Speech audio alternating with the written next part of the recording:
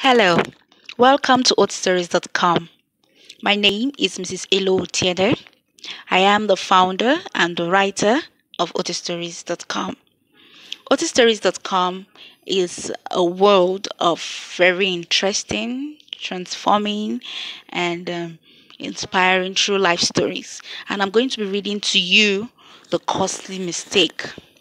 Are you a married woman who feels it's very okay to get close to other men aside your husband, provided there are no strings attached?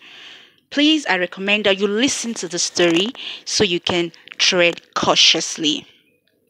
Now, I'll be reading to you The Costly Mistake. Hello, listeners. I am Mrs. K from Enugu State. I am in deep regret for a mistake I wish had never happened.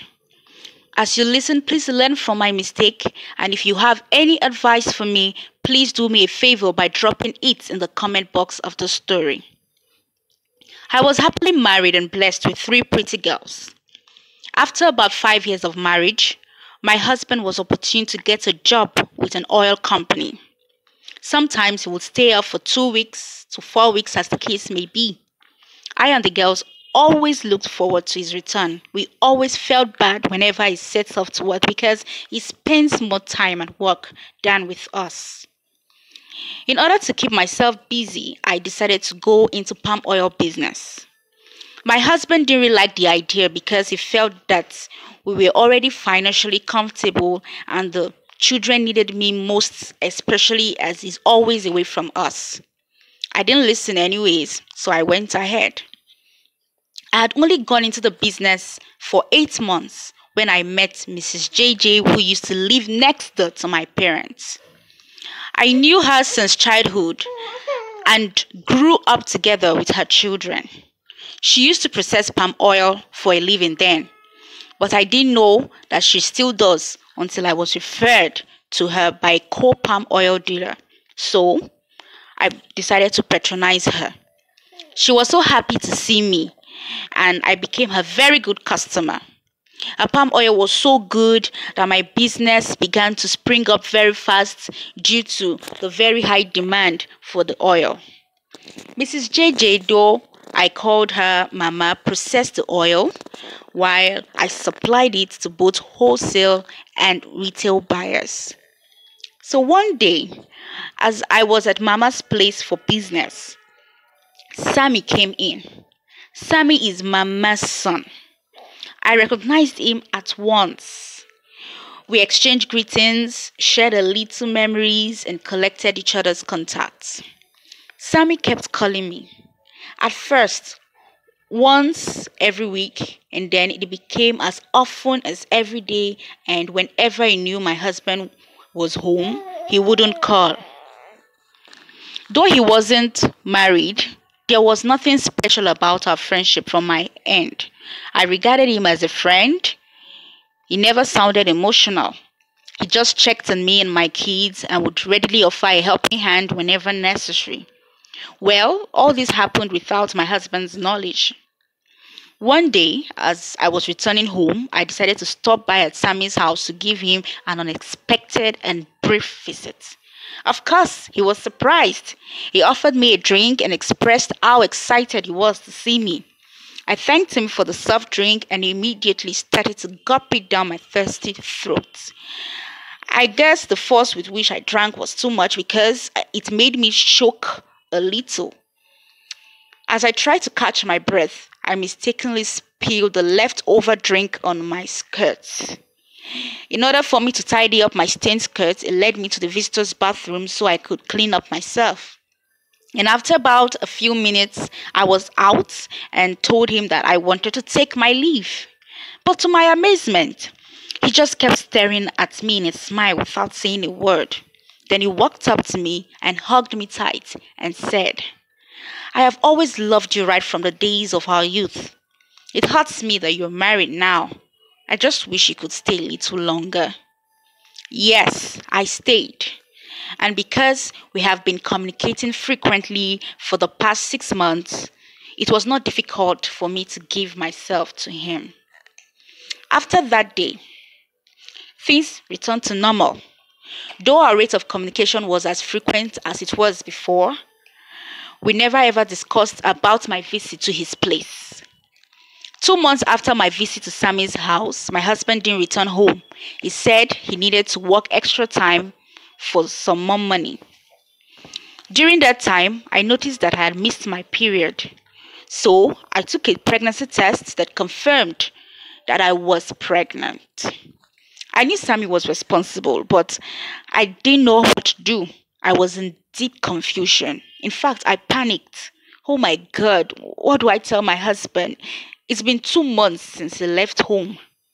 So I called Sammy after some days. Hmm, Sammy wowed me. Guess what he did on hearing the unexpected news? So I was, as I was saying, I called Sammy to inform him about the pregnancy and to cut the long story short, he denied it. He told me that he thought I was matured and that he didn't know I could be so careless to getting pregnant. Sincerely, I was seriously thrown into utter confusion because I was left with no other option than to go for an abortion. Well, on the night before the day I had scheduled for the abortion, I had a terrible dream. I saw people gathered in black beside a grave. They were all consoling my husband and children. Everyone were in tears. And then I suddenly woke up. I was so scared because I knew what that dream meant. I thought to myself, if I don't go for this abortion, what else will I do?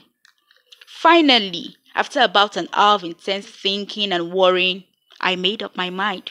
Yes, I did it. I kept the pregnancy. Not for Sammy, anyways, but for my husband because I had no other option besides going for an abortion and I wasn't ready to die either. My husband finally returned from work about a week later, and he was really happy to hear the news when I broke it to him. Since he trusted me so much, he didn't even cross his mind to ask me questions about how, when, and how old the pregnancy was. He only rejoiced and took me out for dinner to further the celebration. Eight months after, I gave birth to a healthy, handsome, bouncing baby boy. My husband loved him so much because he turned out to be the most intelligent of all our children. Even though I later gave birth to another son for my husband, his love for Sammy's son never diminished. In fact, his love for him grew more. Well, it didn't matter to me as long as the boy is happy, my husband loves him, and I didn't have to lose my life trying to abort. I was satisfied with the way things were. After Sammy rejected the pregnancy, he never communicated with me. He never picked my calls. In fact, he moved out of his apartment. After my numerous attempts to reach him, I finally resolved to stop doing business with his mom, only for him to show up one day after his son clocked 20. He came to the house. I was so lucky that he didn't meet my husband. Perhaps he could boldly come in because he saw my husband leave the house. He was begging seriously for my forgiveness. He said he was sorry for his actions. In fact, his knees were on the floor until I forgave him. Seeing that I had forgiven him, he got up thankfully and then he, asked me for a favor. He wanted to know what I did to the pregnancy. I laughed at first. Then, seeing how sincere his apology sounded, I decided to tell him all that happened. He started begging all over again and then thanked me for not aborting it. He thanked me with so much joy that I began to notice something was not right.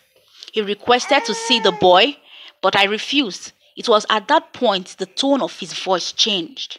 He began to scream at me. Where is my son? Where is my son? I must see him. He can't you can't deny me of my rights. I broke down in tears, panicking heavily. So I began to beg him to reduce his voice, but he refused. Then suddenly, suddenly he calmed down and began to cry.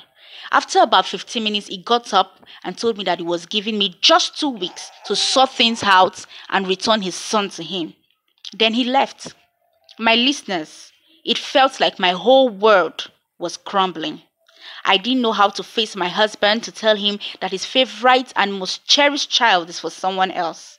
I knew my husband would hate me for life. So I quickly ran to Sammy's mother and narrated everything to her. It was then I knew the reason why Sammy suddenly showed up. He really didn't want to have anything to do with the boy. In fact, he showed up because there was fire on the mountain. He had used his manhood to secure a political position. Knowing that he would no longer be able to have children, he had decided to come for his once rejected child in a cunning way. I felt weighed down because, under the circumstance behind his return, I was so sure that he would never give up on demanding for his son, undermining that it could ruin my marriage. Well, it, did it didn't end in divorce. Because of Sammy's desperation, he went ahead to tell my husband. Yes, it broke my husband. He couldn't bear it at all. He couldn't believe that his favorite child who had brought him so much joy and honor wasn't his at all. After my husband heard what I had to say about the matter, he then asked the boy to do what he wanted. Surprisingly, Samson looked at Sammy and thanked him for eventually owning up his responsibility as a father. Then he promised to keep the truth about his paternity in mind and went ahead to say that it would be just unfair to walk away from a man who had brought him up with so much love. In short, Samson told Sammy off. My husband was indeed very happy because it would have been so difficult for him to let go of the boy. Well, even though my marriage remained, a lot of things changed so much that I still live in deep regret today. My husband's love and trust for me diminished greatly. He pays no attention to me anymore. At any slight disagreement, he makes comments about not being sure that he's really the father of the other kids. Even his relationship with Samson has changed, though it's not that bad. Even my children now treat me with great disregard and anger. To end it all, sometimes I wish I hadn't gone too close to a man aside my husband, and other times I wish I never told Sammy that I was pregnant. At least he wouldn't have known. I should have kept it all to myself. So, listeners out there, I didn't take this time out to entertain you. I really want you to pick a good lesson from my painful mistake. I sincerely promise to write otistories.com again if things finally get better or even worse than it is already. Thank you all. Well, this brings us to the end of the story, The Costly Mistake. I hope you've learned from it. Thank you for listening and goodbye. See you in the next story.